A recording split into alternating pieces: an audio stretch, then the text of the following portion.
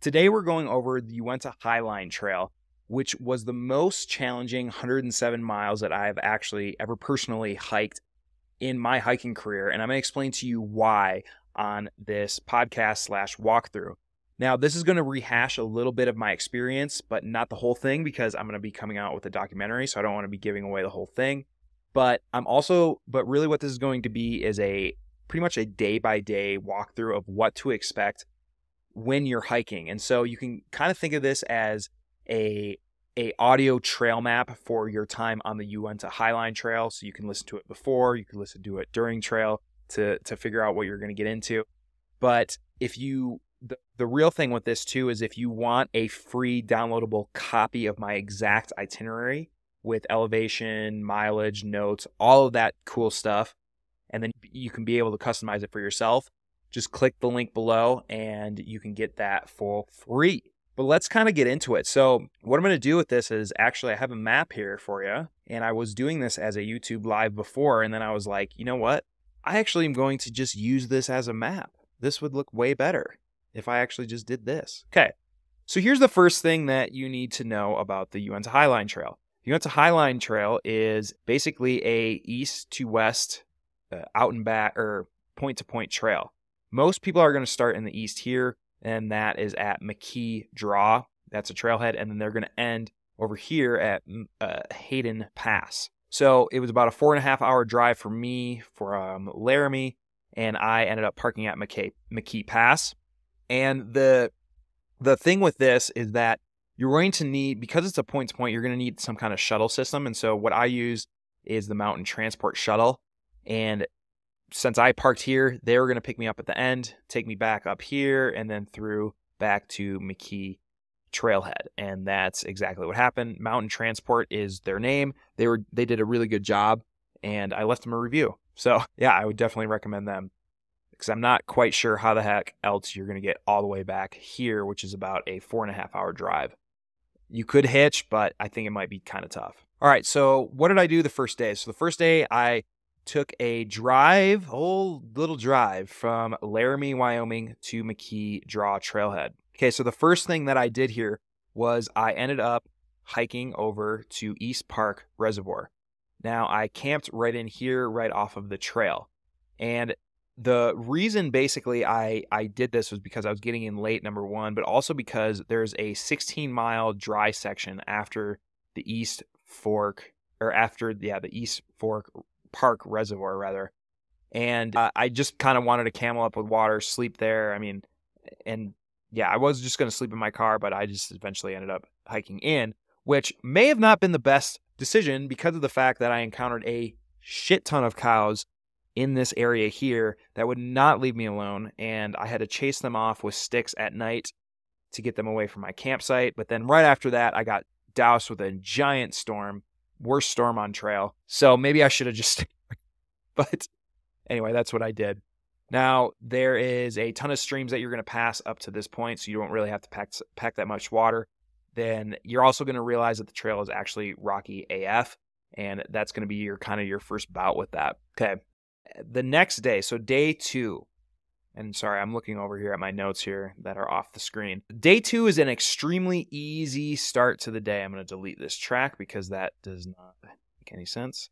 So, day two is an extremely easy start to the day. Probably like the first eight miles are super easy, where you really don't even need trekking poles, in my opinion. If you don't want to use them, you could probably just stow them away. And uh, it's very flat, but the one thing that you're going to realize with this is the theme of the entire trail, which is the fact that it can be a bit challenging to navigate because it's not that well traveled. So you're going to have offshoots of social trails. A lot of these parts, especially when you get into the open high areas or open parks, there's going to be really no trail or a very faint trail. So you have to be looking out for cairns. You have to be, you're going to be constantly on your phone looking at your track in this whole thing, right? And so this is going to be kind of your first sign that this trail isn't like a normal trail, like a normal highway. Now, one thing I should mention is how much water I took after the East Park Reservoir.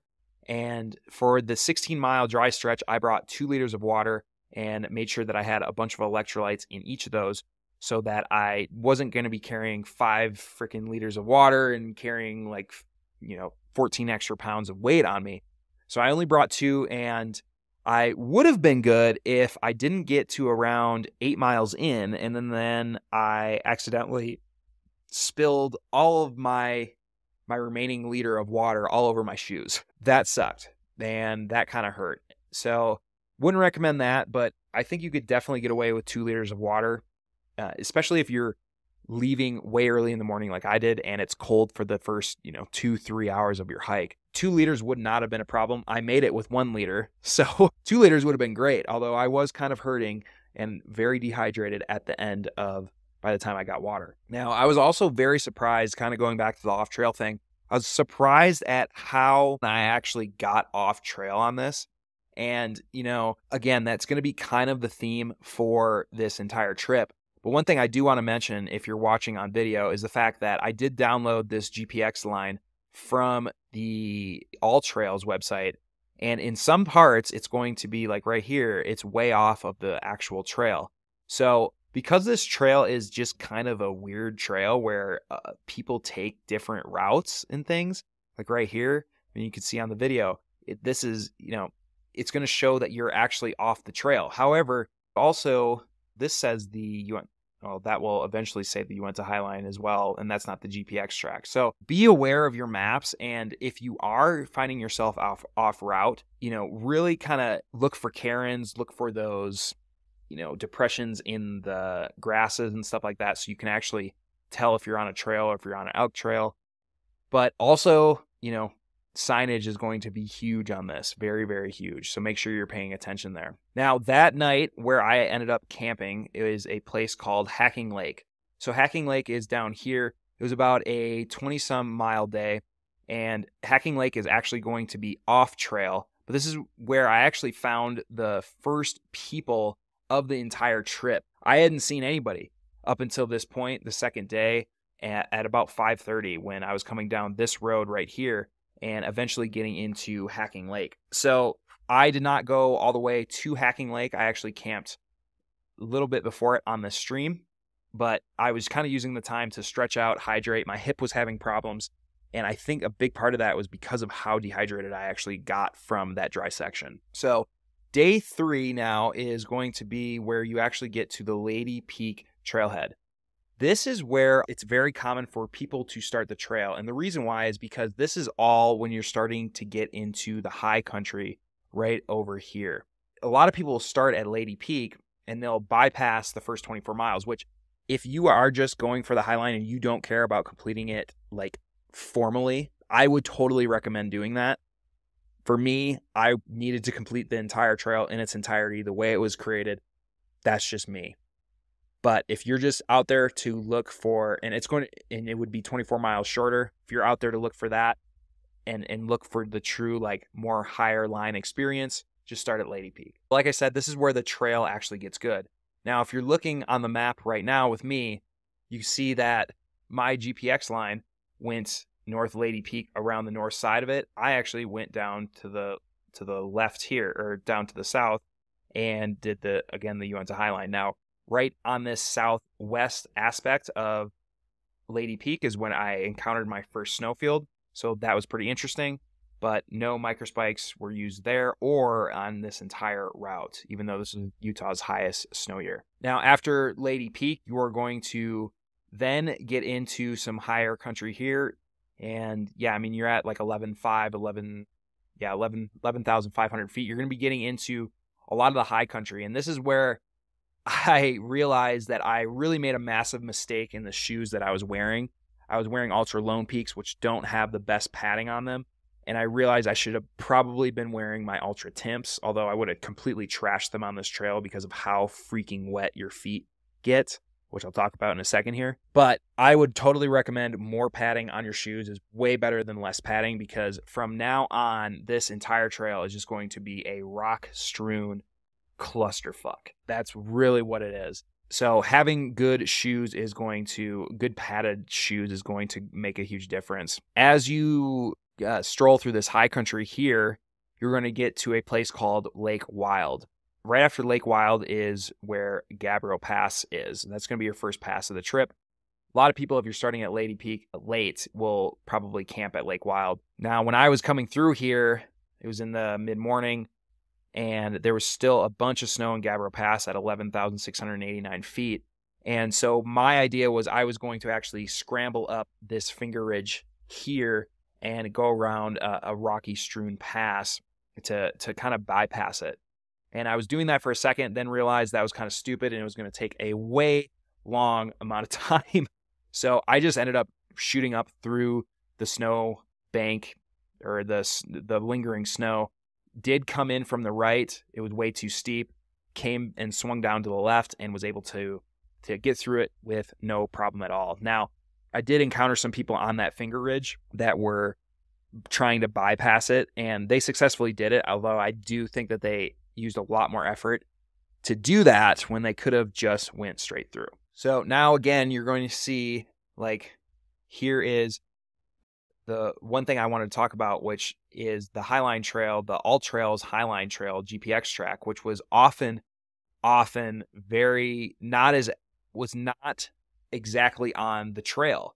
As you see here, right here is the Highline, and this is off by quite a bit. So if you're this isn't a big deal when you are actually in the high country and you can kind of see where you're going, but when you're in the woods and you're trying to figure out where the trail is and things, just know that the the all trails map is a little bit off the GPX route. So number one, you have to have downloaded maps on your phone for this if you actually want to be any semi-effective navigating. But you're going to have to compare and contrast the GPX track versus what you have on your map as the static. And it was kind of at this point too where I, I was thinking, okay, I'm gonna actually navigate with my watch, which is was a lot easier than pulling out my phone the whole time. I'm gonna use the navigation feature on my watch. However, then I realized that the uh, or that the AllTrails map was kind of off, so it would work sometimes. But if you can get a really solid GPX track, download it to your watch, that would be money. After Gabbro Pass, you're going to be getting to what's called Deadman Lake. So looking at the map here, you're to have a basically a giant descent down these topo lines and then a giant ascent back up them.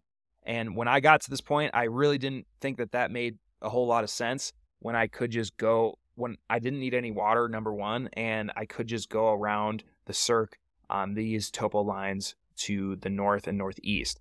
And so that's what I'm doing. And I'm trying to make this visual as as good as possible for people that are just listening audio right now. But if you do want to see a visual of the map, hop on to YouTube for this. So I just ended up going around it and then you're eventually you're to cross White Rocks Lake, whatever. It's fine. As I was getting between White Rocks and Chapetka, I actually met a family and a dad, told them where I was going to try to get to tonight, which was all the way to Fox Lake, which he severely doubted I could get to, which severely made me push even harder to make sure that I was getting there I had about 11 and a half miles to go at at 130 and he was telling me how he was just and I had already gone 10, 11 at that point, 13 at that point, 14 at that point. He did not hold back telling me, "Well, you know, I did a fit 18 mile day all downhill one time and it just crushed me." And I'm like, "Dude, I don't know what to tell you. You don't look like you're in shape, so that would probably be why. Don't doubt me." Anyway, gets Chapetka, jumped in there, and as you can see, again on the All Trails GPX track, they must have done a resupply right here, which I didn't do. So I was continuing on the High Line up this way, up to the north of that, and through Chapetka. Jumped in. That was great. Now, for, between Chapetka and your next pass, which is called North Pole Pass, you're going to be entering the woods in this valley here. Now, a couple things with this woods. One, the track and my maps, everything was wrong with where the trail was. There was no trail. There was a bunch of blowdown. It was thick and it was terrible. So I got severely off trail, not severely, but I got off trail for about 20 minutes here and that really sucked and I was really frustrated. The other thing with this is that again, don't have have zero expectation of dry feet on this because as you can see, you're going through a bunch of these bogs. And whenever you see these bogs on the map, just know that you're going to get extremely wet feet again. There was actually about a mm, 70 yard basically dash through this where, yeah, I mean, I had to go st- literally just straight through water. It was just straight through water. So going through that in the valleys and then going back up to the high line or to where you get to higher country and having wet feet and having that friction, but then also having rocks on top of that, it's a really good way, at least for me, to get blisters, which is why at least I wanted more padding on my on my shoes. But there's really not much you can do with drying your shoes out because as soon as you do, which is what I did at Chapetka, I dried them out because I was going through bogs, you know, hours before that. They just got wet again. And so just know that your feet are really never going to be dry on this trail, which is a big challenge of it. Okay, so eventually you're going to get over North Pole Pass, which is a really cool pass. And then it kind of you kind of stay at this this plateau for a while, and then you have this giant descent.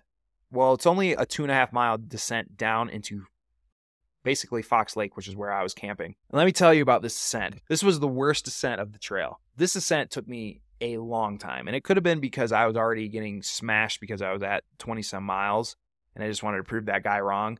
But it kind of switchbacks. It there's giant rocks. There's just rocks everywhere. It's it's a tough, tough, tough pass to go over, and really, really not that fun. There's just so many rocks there. It's a it's a very slow descent. So don't think that you're going to get to the top of there and then be at Fox Lake in a jiffy because he ain't. Eventually got to Fox Lake, was going to camp up on the north side of it, but there really was no places. There was a bunch of sites in the woods here. One thing with Fox Lake though is the fact that there's a bunch of kind of aggressive deer and I, I tried to bribe this one deer to set up my tent for 10 bucks. 10 bucks. Get it? But she wouldn't do it. But they kind of bothered me all night, and so I had to shoo them away as well, just like the cows. So just be aware of that. I think deer are quite active there because must be a kind of a semi-popular place for people. Okay, now day four comes along, and from Fox Lake, really for a good six, seven miles, you're totally in woods. You're just immersed in the woods. And I was kind of thinking, what the heck am I doing in the woods this long? I thought this was a high line. So that was a little bit frustrating. It was a long wooded patch, and your again your feet are going to be super wet. You're going to be crossing bogs. Not a lot of fun stuff. A lot of lot of lot of streams and wet stuff. This day also is going to have some spots where there really doesn't look like there is any trail. Now, you're kind of like paralleling this river, and I'm trying to find it here on the map where the heck it is. But as you're, you're kind of paralleling this river to get up to Anderson Pass, to eventually you get to these meadows.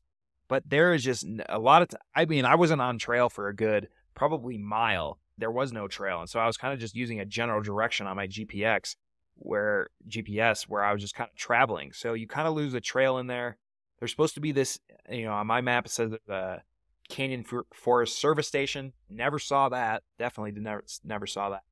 Eventually, though, you were going to keep working your way up, keep working your way up, and you're going to get to the highest pass on the trail, which is called Anderson Pass. Now, you're probably going to see more people here than you're going to see mostly on the trail, really anywhere on the trail until the end.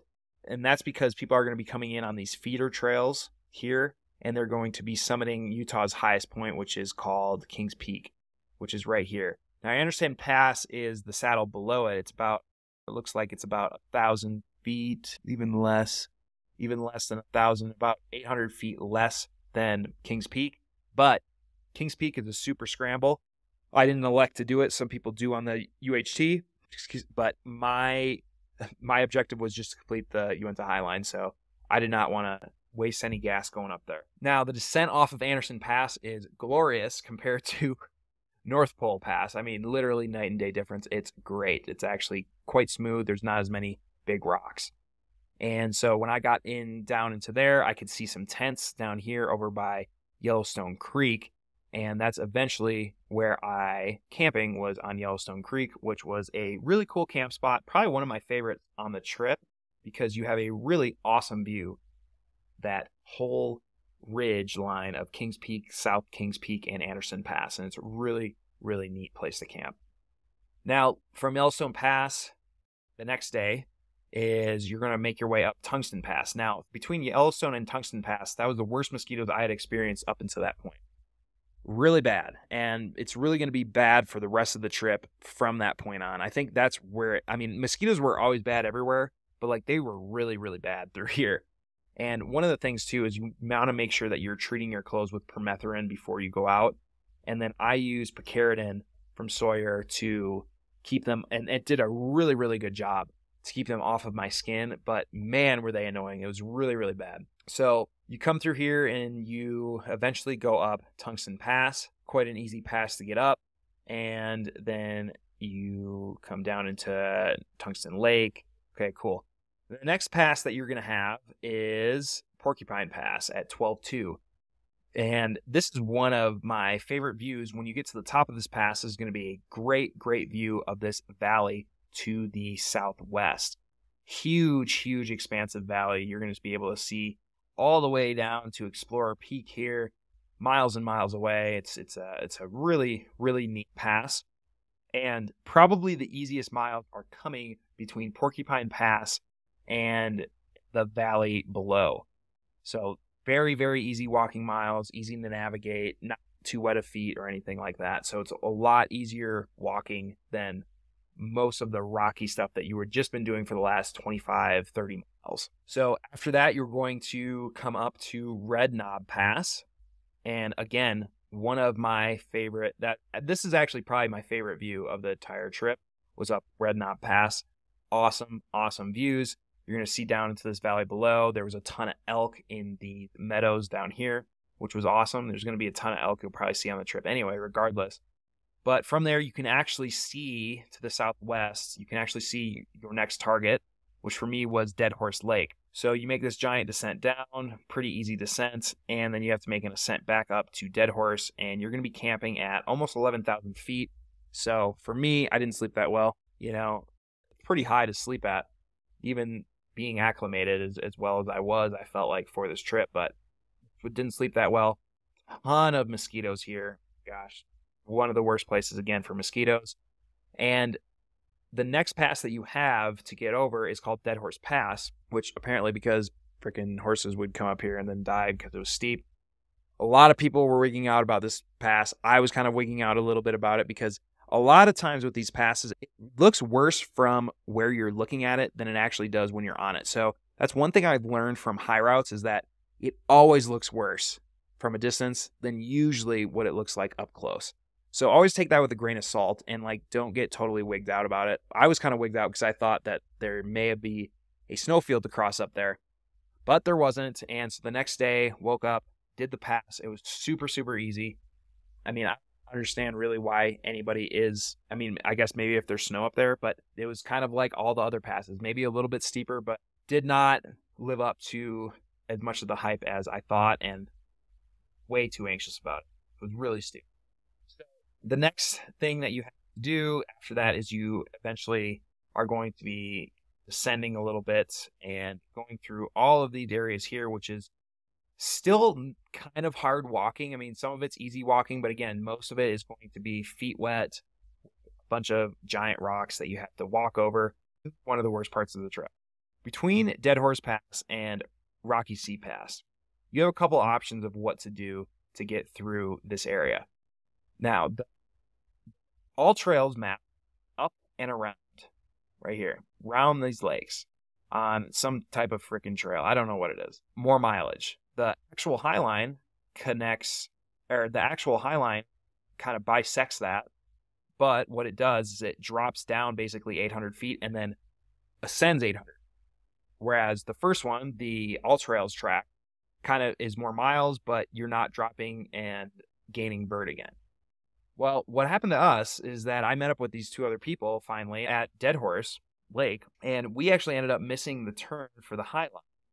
So what did we do is we just took this Jack and Jill trail that bisects both of them, actually, the all trails and the line, and thought that we would be good.